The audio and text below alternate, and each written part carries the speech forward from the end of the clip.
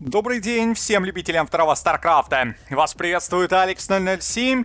И сегодня вас ждет игра, о которой я не знаю почти ничего. Да, такое тоже бывает. Ну, давайте обо всем по порядку.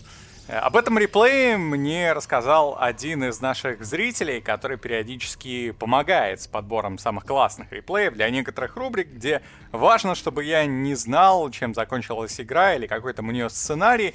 Ну, например, одна из таких э, рубрик это Рафкрафт. И, собственно, он предложил мне даже не смотреть этот реплей, а просто довериться, тем более, что мой коллега Ловко уже назвал эту игру игрой года.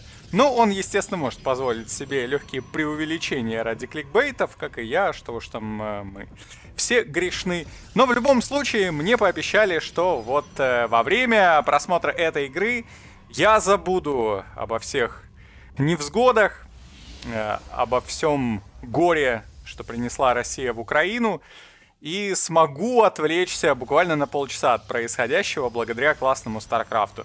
Надеюсь, и у вас, друзья, получится это сделать вместе со мной, поэтому давайте попробуем. Давайте отправимся на карту Берлинград, где в левом верхнем углу появился 20-летний хорват Леон Верховец. Его никнейм Гоблин. Он играет за команду, которую можно просто назвать Тим Ротти. Ну, короче говоря, это коллектив, который индивидуально спонсирует Роттердам. Э, известный голландский комментатор. В принципе, я думаю, и с Гоблином многие наши зрители уже знакомы, потому что неоднократно выходили видео на канале с участием этого игрока, ну и с Роттердамом тем более.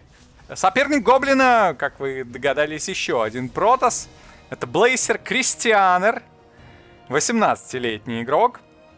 Он родом из Польши, но у него немецкое гражданство, и живет он в Германии. Э, зовут его Кристиан, что неудивительно, исходя из никнейма. Э, фамилия Щенсны. И для фанатов футбола, да, по идее он просто однофамилец того самого Войцеха Щесны. Э, также странно пишется у него фамилия, и я знаю, что вроде как в русском языке пытаются как-то совсем ее коверкать, там что-то типа Щенсны, как-то вот так вот его называть, не знаю, мне кажется, просто самый простой вариант честный подходит. Команда у Кристиана тоже интересная. Блейсер, у него был довольно громкий старт, в том числе в нашем регионе, помнится, там чуть ли не все крупные э, игроки нашего региона, ну, крупные вы поняли, в переносном смысле, хотя, может быть, и в прямом тоже, играли за эту команду, там, включая Блая, Димагу, Аверса, ну, потом как-то быстро все это загнулось, и вот Кристиан, видите, до сих пор Блейсер представляет. Собственно, что происходит в начале этой дуэли на Берлинграде? Ну, пока я должен признать, тут такой старт, э, знаете, в виде классического ладдерного ПВП, хотя, ну вот сразу можем сказать, по нестандартным цветам это не ладдерная игра, потому что все игры на ладдере, вот э, для тех, кто не в курсе, э, имеют цвета игроки там красный и синий. Если вы видите нестандартный цвет, это 100% не ладдерная игра. Вот такой вот лайфхак. А, пытается Гоблин вот так проникнуть в минеральную линию одновременно адептом и оракулом и тем самым нанести сопернику максимально возможный экономический урон. Мне кажется, получилось неплохо. Потому что все юниты Гоблина выжили, и он забирает у Кристианера уже суммарно 7 пробок. Это очень серьезное достижение, благо у самого Гоблина делается Nexus, и, в принципе, Старгейт тоже никуда не делся, появился второй Оракул, а значит, наличие батарейки в минеральной линии коренным образом не повлияет на экономическую ситуацию, на возможность для этих оракулов харасить. Ну, давайте посмотрим. Врывается оракул, просто бросает ревелейшн, второй оракул пока э, не показывается гоблином. Это, кстати, очень крутой ход. Гоблин сейчас может показать сопернику, что он только одного оракула сделал, что, соответственно, можно просто оставить допустим, минеральной линии на мейне батарейку и спокойно уйти куда-то армии, а потом наказать оппонента сразу двумя оракулами. Это потенциально прям очень сильный ход, но будет ли он использован на практике, большой вопрос. В общем, дебют Гоблин в моем понимании скорее выиграл. Да, сейчас по цифрам этого не скажешь, потому что как будто у Кристиана и на одного рабочего больше. И в целом нормальная ситуация. Но э, вот эти оракулы все-таки это очень хороший контроль карты. Это очень э, хороший такой, знаете, вариант отложенного урона, потому что Кристианер должен понимать, что фактически, ну, минимум 4, а лучше 6 сталкеров должны находиться на его половине карты все время, пока эти оракулы будут живы, а значит, э, невозможно будет пойти в атаку в какой-то момент. Ну, вы поняли, тут э, вполне логичные расклады, по которым у Гоблина дела идут чуть лучше, чем у соперника. Гоблин пока просто контролирует карту для того, чтобы у оппонента не было третьей базы. Кристианер красиво такую сеть пилонов, видимо, собирается создавать, э, которую он будет оракулов э, заранее замечать. Тут еще один адепт, я так понимаю, или даже два адепта были доварпаны, вдобавок к этому одному убитому.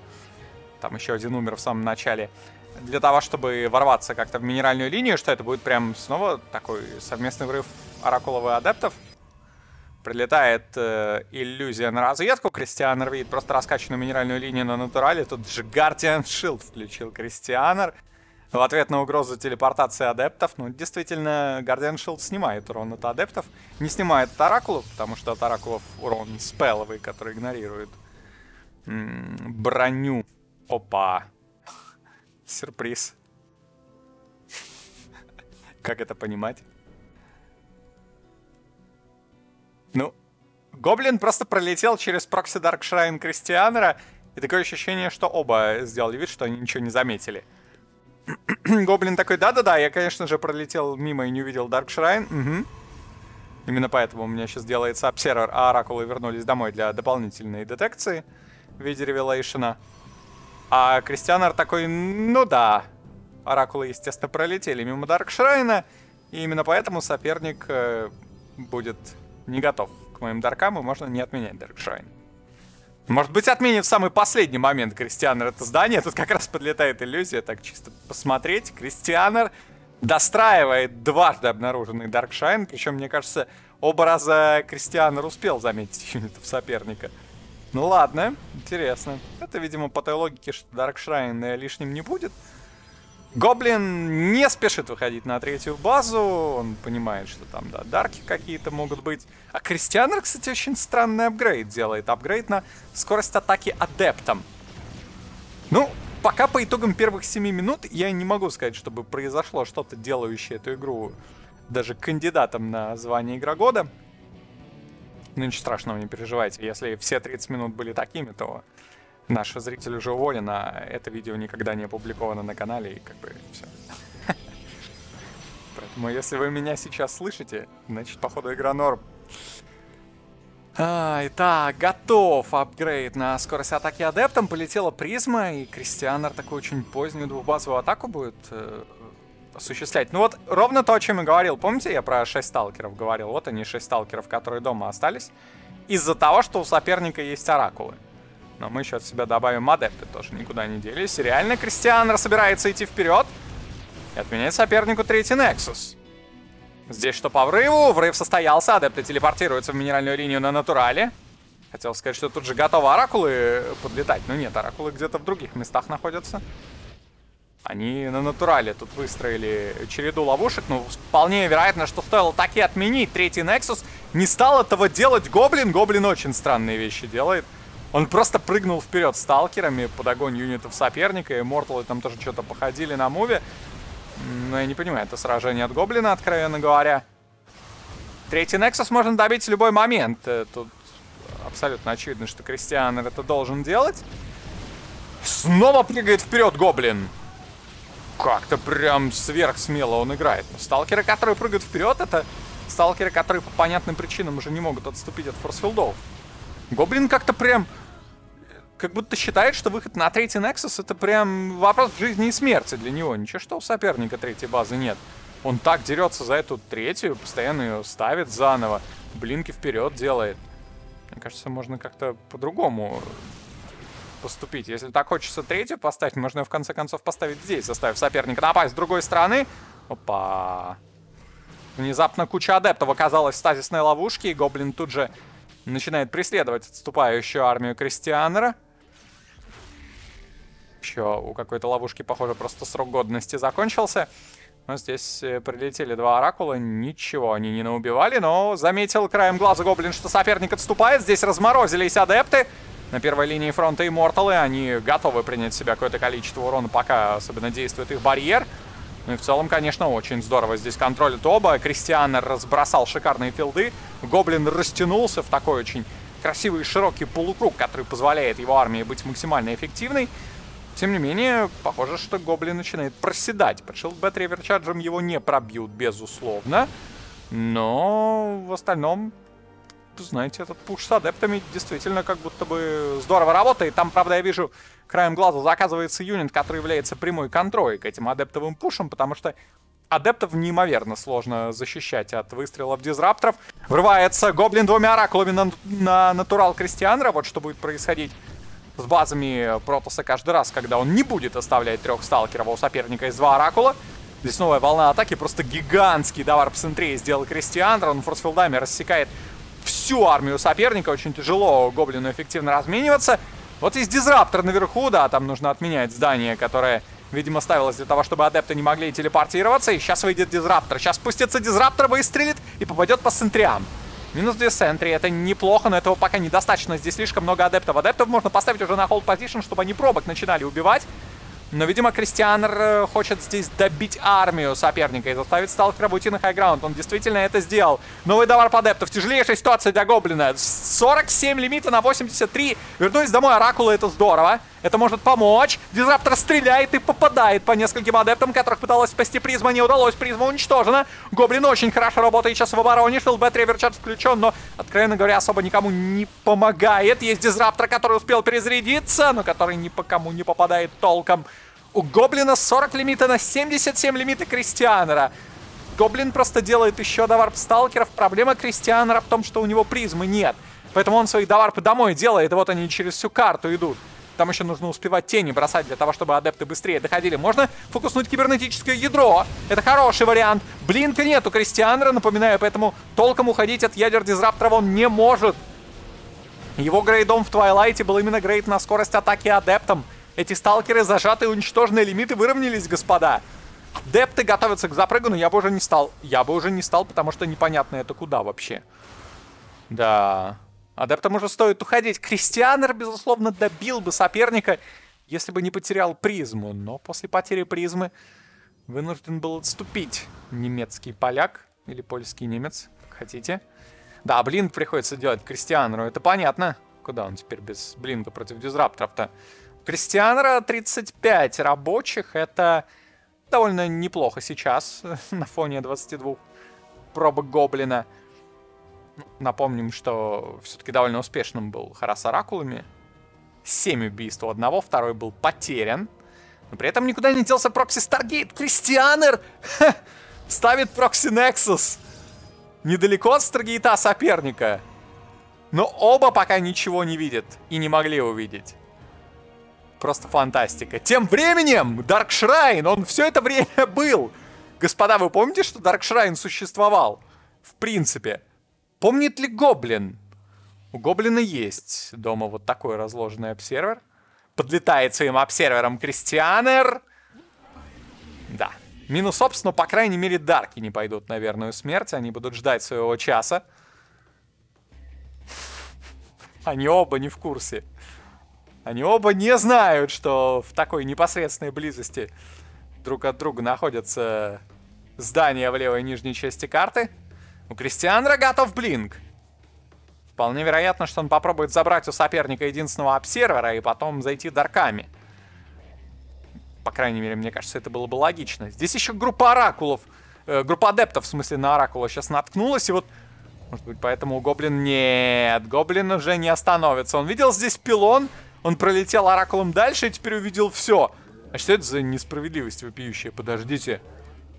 Ой-ой-ой-ой-ой. Нет, стоп, стоп, стоп, стоп. Можно я паузу поставлю? Мне проанализировать нужно. Подождите, есть два здания. Это прям реально так работает? Не-не-не, подождите, так не может быть. Может быть, это Оракул пролетел и увидел здание? Нет, это здание... То есть Stargate видит пилон соперника, но пилон соперника не видит Stargate. У них у разных зданий разная область обзора. Ребят, я StarCraft 12 лет комментирую, я первый раз с таким сталкиваюсь. Это что, серьезно? Ну, окей, ладно, ладно, вру. Я знаю, что у главных зданий, там, особенно вот у Хайва, у него там вообще бешеный радиус обзора, у Hive там через полкарты видит. Но Stargate и достроившийся пилон имеют разный вижен. Возможно, из-за того, что у них разный размер? Да, просто фантастика. То есть от Старгейта есть актуальный вижен на пилон. Актуальный, потому что мы, видите, можем навести и увидеть э, хэппи-бар. От пилона нет вижена на пилон и Старгейт. Просто фантастика. Что ж, Кристианер был не в курсе, но он в курсе сейчас, когда он делает даварп сталкеров. И теперь он понимает, что соперник знает все. А соперник не просто знает, он уже сюда пришел. Гоблин приходит своими сталкерами, у которых, кстати говоря, есть апгрейд плюс один на атаку у соперника. Здесь даварп на поле боя. Это может быть даже важнее. Но там еще дизрапторы, с которыми нужно что-то делать. Ничего себе blink от Кристианера. Вы видели? Чтобы сталкеры блинкались вперед, а не назад от дизрапторов. Здесь еще одно войско подошло, и там как раз была попытка фокуснуть обсервера, но в итоге обсервера потерял Кристианер.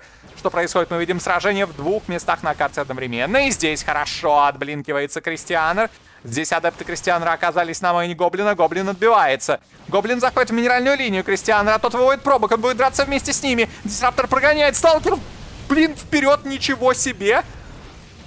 Как он блинкается вперед против дизрапторов, я не понимаю. Еще и не имею возможности их профокусить. У Кристианера какой-то свое блинк микро, а в это время здесь адепты уничтожают экономику Гоблина. Конечно, Оракул тут хорошо поработал по адептам, но у Гоблина остается 13 пробок. Да, Кристианер, скорее всего, Нексус потеряет, но у Гоблина же и такого Нексуса нет. У него вообще ничего нет. Так, тут рекол, по итогам которого удается немало юнитов спасти. Там только один дизраптор был потерян, несколько сталкеров. 64 лимита на 61. У Кристианера больше пробок, но добывать-то им где? Добывать им особо негде. С точки зрения количества пробок Гоблину нужно отстроить только рабочих на газы, да, чтобы газ нормально добывался, но при этом газ сейчас не в каком-то сильном дефиците. Что у Гоблина, что у Кристианера. А минералы все эти пробки не могут добывать существенно выгоднее, чем пробки Гоблина. Да, Кристианер даже уводит часть пробок на long distance mining. Ситуация. Ну, интересно вообще то, что Гоблин ни на каком этапе не посчитал выгодной инвестиции грейд плюс 2 на атаку. Вот в моем понимании, особенно сейчас, когда ты видишь, что у соперника вообще нет грейдов, у тебя есть плюс один, было бы прям очень круто и полезно сделать плюс 2. Даже в ущерб одному дизраптору, да. Не, мне кажется, это даже бесспорно. Ну какая разница, у вас 4 дизраптора или 5? В сущности. А если у вас э, плюс 2 на атаку или плюс 1 для 17 блинк сталкеров одного иммортла, по-моему, куда более важно. Опа! Кристианер, похоже, знает, что соперник ушел. Кристианер видел, что соперник ушел, он даже знает, где тут была стазисная ловушка. Поэтому он просто приходит и забирает здесь прежде всего обсервера, а потом роботикс, потому что у него Дарк Шрайн есть. Сюрприз! Да, у Гоблина не то чтобы нет детекции, у Гоблина есть Оракул. Кристиана успел варпнуть трех Дарков, у меня даже ощущение, что Гоблин только что их увидел. Гоблин ведет вперед пробок для того, чтобы не получить элиминейт. Это понятно и это логично. Гоблин пойдет в размен, потому что, по-моему, других вариантов здесь вообще нет и быть не может. Да, у соперника будут э, дарки, а у тебя есть детекции только ревелейшн и возможность убить дарков дизрапторами, но почему бы и нет?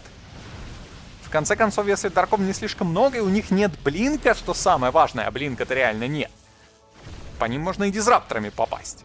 Это вопрос навыков. Кристианер, похоже, даже чардж Зила там получит. Я не уверен, что это нечто супер полезное в такой ситуации. Ага, и у Кристианера восстанавливается Прокси Нексус в том самом месте, в котором, казалось бы, его уже быть не должно было. Но в этом плане, кстати, зря Гоблин не добивает Нексус на мейне, потому что теперь у Гоблина может возникнуть ощущение, что у соперника прокси-базы нет. Гоблин сам ставит Нексус, ставит его именно здесь. У Гоблина хватает на это ресурсов. У него, кстати, еще форжа есть, но для того, чтобы поставить фотонку, нужно еще собрать деньги на пилон. Я думаю, что он не успеет тремя пробками все это сделать. Деньги на пилон, деньги на фотонку. Тут э, за это время форжа уже будет даже одним дарком убита. Так, а что по составам армии? 17 сталкеров, 1 Immortal, 4 дизраптора. Тут 19 сталкеров и 3 дарка. Ну, Кристианеру, конечно, только обузить как-то дарков, потому что без них я пока не понимаю, на что его армия способна. Пока способна на то, чтобы отжать у соперника стазисную ловушку. Здесь ушел красиво Кристианер от шарика дизраптора соперника. Оп, Что-то было потеряно, я не понял. Э Опс, что ли? А как Опс мог быть потерян? За счет ревелейшена, может быть? А, -а, -а. Я как-то не заметил вообще, что тут могло быть потеряно, но, вероятно, обсервер. Да, мне кажется, это должен быть Опс Кристианера, потерянный на ревелейшене. Окей. Здесь остались у Кристианера какие-то здания на мейне. Насколько полезны? Он может как-то за счет них технологии восстановить? Ну, Dark Shrine, между прочим, можно поставить. На него там совсем чуть-чуть минералов осталось копить. Слушайте, а может восстановить Dark Shrine? С учетом глобальной перспективности этой технологии. У Кристианера-то дела получше идут в плане экономики. Время будет на него работать. Сопернику очень долго выходить в Robotics. И это прекрасно понимает Кристианер, который фактически всю карту видит сейчас. Опа. У него в планах, что ли, вообще... Да, он подлетает обсервером и видит общую картину. Там три пробки на 9 крестьяновских. Гоблин заметил? Гоблин сейчас заметил сталкеров соперника. Они прыгнули, просто отжали иллюзию. Окей. Вариант. Гоблин уже все равно знает, где у соперника Nexus. Тут пошли размены на сталкерах 17 на 17. Хорошо разменялся Гоблин. Кристианер двух сталкеров отдал. Кристианер делает кибернетку все-таки, а не Даркшрайн. На имеющиеся деньги. Ну, не знаю, не знаю. Я бы поспорил. А что по даркам вообще?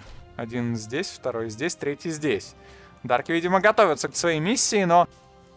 Мне кажется, было бы очень крутым решением сделать Дарк Шрайн и блин даркам, не находите? О-оу.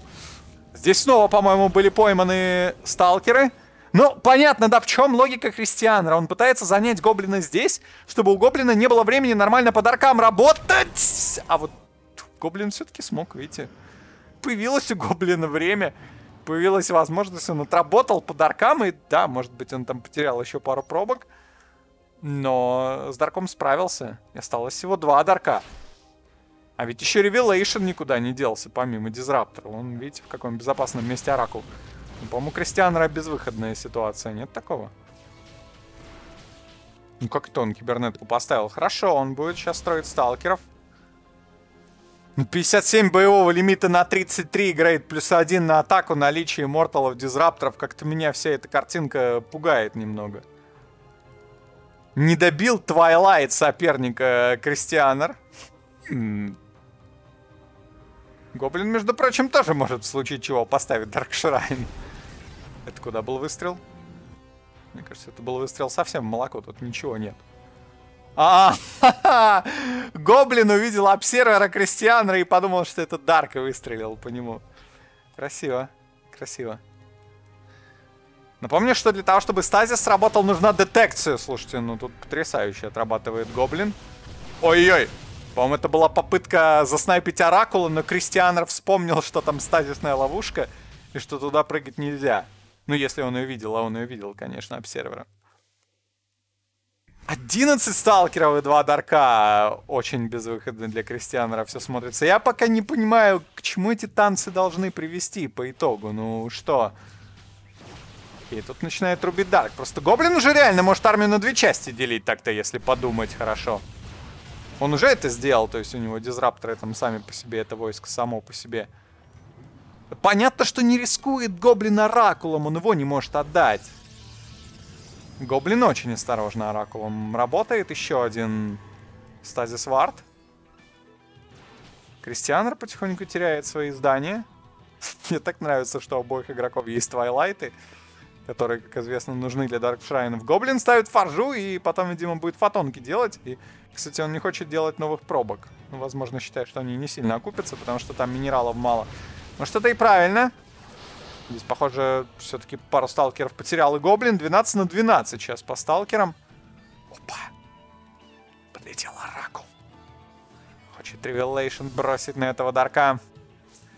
Ну, пока не подставляет Дарков Кристиан. Один здесь, другой там.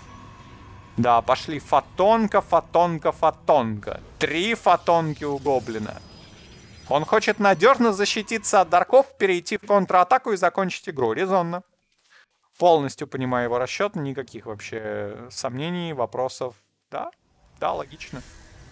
Очень много статисных ловушек от Гоблина. Тут такая, знаете, эшелонированная многоярусная оборона. И надо понимать, кстати, что у Кристианера обсерверы закончились. Новые не предвидится. Кристианер там экономику раскачал уже, ух как! Он следующий Nexus ставит. Его все устраивает. Ну поэтому ты Гоблин и ждал возможности нормально. От Дарков защититься, он бросил Revelation, он забрал одного Дарка. Последний Дарк на карте. Естественно, он пошел вперед. Удачи, счастья, здоровья, всего наилучшего. Мне кажется, это хороший исход для Дарка. Могло быть хуже. О, пользуясь отсутствием детекции у соперника, Гоблин даже сделал несколько иллюзий сталкеров. С пробками собирается драться Кристианер.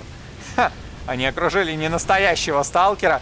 Справились с ним, конечно, героически, но толку не шибко много. Дарк тем временем вышел из стазисной ловушки, но ничего не успевает с ним сделать Кристианер, потому что его войска заняты здесь. Гоблин забирает еще один пилон. Кристианер хорошо работает э, своими сталкерами в плане фокус-файра. Сталкеров больше. Отставание по апгрейдам никуда не делось, конечно, но при такой разнице в сталкерах плюс 4 или плюс 40%.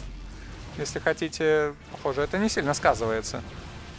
Кристианер отменил Nexus, да, он все деньги потратил на доварп новых сталкеров. Так, пробит барьер Immortal, это значит, что можно будет попробовать его фокуснуть. Прям запрыгнуть на него, если будет уверенность, что не влетят шары.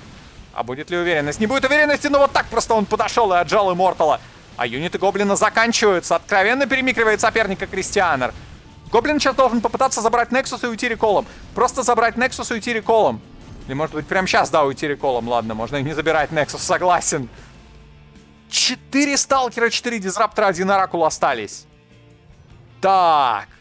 У Кристианера есть Нексус. Одна пробка на карте, она будет добывать. И она поставит пилоны, которые позволят выйти из саплай-блока. Как-то помешать этому сейчас Гоблин не может, но у Гоблина есть Оракул, который в теории может быть полезен. О-оу. Кристианер шел явно заканчивать э, игру и выбивать здесь Гоблина, но попался на стадисную ловушку. А теперь знаете, какая интрига? А сталкеры-то разморозятся? Разморозятся. А можно в них будет выстрелить дизраптором? Можно. И именно в тот момент, когда они разморозятся, он получил ядро. Просто фантастика. Кристианер понимал, что произойдет, но он не успел отблинкнуться, физически не успел. Гоблин запустил два ядра подряд того, чтобы точно попасть по этим сталкерам. Фантастически круто сыграл Хорват. Гоблин бустанул Нексус, чтобы выйти вперед по экономике. Хорошая идея, дружище. Минералы откуда брать? Остался один минеральный кристалл, у которого там 150 единиц минералов. Потерян еще один сталкер. У Кристианера их всего 5. Ну, это похоже на катастрофу, особенно с учетом того, что сюда прилетел Оракул. Его можно попробовать, да, наказать за этот прилет, но не при помощи этих сталкеров в этот конкретный момент. Разделил своих сталкеров Кристианер. Ну, разделить сталкеров значит воевать три сталкера на три. Даже без учета дизрапторов. Проблема Гоблина у которого все вроде бы хорошо, заключается в том, что при грамотном контроле в чистом поле его армия все еще слабее. А ресурсы у него кончились. Понимаете, в чем проблема? Тут-то ого-го! Добыча будет. Еще буквально пару минут э, пробок построить с крестьянами, и все. Все будет хорошо. Гоблину надо идти вперед. Я не понимаю, у него закончились минералы, и он даже не насобирал на Nexus. То есть ему надо лон дистанс майнингом докачать на Nexus. Или идти в олыновую атаку. Вообще пытаться, может, ничью, что ли, сделать. Типа, останется один сталкер, который не убьет эти фотонки. Да не, фигня какая-то. Сталкер же с блинком, он уйдет и пилоны просто разобьет. Хотя, стоп, достает ли сталкер до этого пилона? Да, да, сто процентов достает. Я думаю, как-то вот так его разместить. Ну что, гоблину надо что-то делать. Каждая секунда работает на соперника. Какой-то нужен план. А, а, а, Гоблин хочет заманить Кристианера в ловушку. Он облетел оракулом этих сталкеров, и он пытается создать приманку. Для того, чтобы сталкеры ушли куда-то сюда. Пробки пошли на long distance mining, но они пошли не в ту сторону. Здесь уже истек срок годности ловушки. Ну да, надо что-то сделать, чтобы сталкеры сюда зашли. Надо как-то их выманить. А как? Надо, чтобы пролетел Оракул, может быть так. Во-во-во. Ну, ну, ну а... Сталкеры выходят от дизрапторов. Ладно, пофиг, гоблин э, забил, пошел добывать. В любом случае, если сталкеры здесь пройдут, если они попадутся на эту ловушку, то дело в шляпе. Ну-ка. Кристиан выходит. Ну, тяжело заметить. Можно! Но сложно. Кристиан, да, заметил, он знает. О, ребят, он знает, что здесь есть ловушка. Он точно это знает. И он, кстати, сильно потерял хп на одном из сталкеров только что. Но можно подогнать свеженького. Там, кстати, уже 13 пробок на 6. Там уже дикая добыча у Кристианера. Я не могу вообще понять, у кого преимущество. Божественно расконтролил здесь. Тут тончайший момент, куда нужно заступить сталкером и в какой момент отблинкнуться, чтобы сталкер не был потерян. Все было сделано грамотно. Здесь, я так понимаю, подлетал Оракул, бросил Revelation, все увидел, отступил. Там уже второй gate ставится. У Кристианера скоро будет даварп с двух гейтов. И даже когда достроится Nexus, на самом деле все равно у Гоблина будет сложная ситуация, потому что добыча 6 пробок на 16 это очень плохо. Гоблин в какой-то такой странной ситуации, понимаете? Он играет в шахматы, и при этом э, он э, попал в сложнейшую ситуацию с точки зрения часов. То есть у него э, нет времени на обдумывание шагов, понимаете? Каждая секунда работает на соперника, и в этой ситуации нужно очень хорошо думать, но времени на то, чтобы думать нет, ты можешь проиграть по времени. Каждая секунда на соперника работает. И Гоблин отчаянно штурмует какие-то варианты, придумывает какие-то ловушки, пока ничего не получается. Но если Кристианер допустит какую-то ошибку, его можно будет попробовать э, наказать за это. Ничего не меняется для армии Гоблина. Три Сталкера, четыре Дизраптора, один Оракул. Он с этой армией работает уже очень давно, и она не станет больше. Кристианра совсем другая ситуация. Кристианр снова позволяет себе второй Нексус поставить. Что делать Гоблину? Нужна какая-то улыновая атака. Нужно что-то, что позволит перевернуть игру, потому что, ну, здесь есть 6 пробок. Опа! Заступил один сталкер. Один ушел блинком. Так, так, так, так, так. Снова начинается большая игра. Оракул тоже возвращается домой. Кристианер, наоборот, идет вперед всеми войсками. Вот сейчас-то приближается развязочка. Гоблину нужно все сделать очень грамотно. Попробовать поймать этих сталкеров. Или, может быть, даже не тратить на них выстрелы. Он стреляет двумя, стреляет тремя. Он не попал, но там еще одну стреляет, ловушку попадает. Кристианер, вообще ничего не понятно. Кристианер следил за этими сталкерами. Они не попали в ловушку, но попали другие.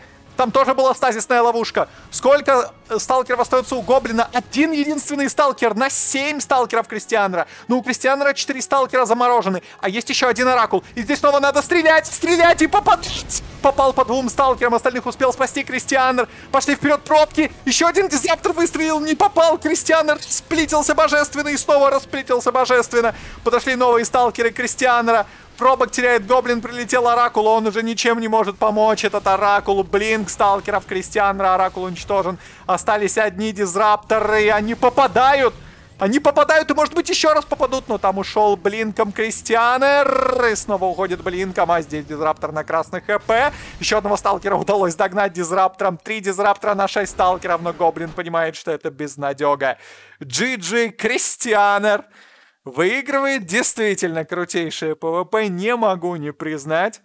Э, я уж не знаю, станет ли это игрой года. Мне кажется, что все-таки скорее нет, но кандидат абсолютно точно и вполне вероятно лучшее PvP этого года и вообще, знаете, такой новой эры, эры, когда появились вот эти дизрапторы, стазисные ловушки, современная мета со сталкера-дизрапторами. Все это смотрится очень динамично, все это смотрелось очень весело и здорово, и надеюсь, что вам, дорогие друзья, было интересно. Для вас работал Алекс 007. Подписывайтесь на канал, ставьте лайки, делитесь отзывами в комментариях, поддерживайте Украину. До новых встреч. Всем пока и удачи. Услышимся.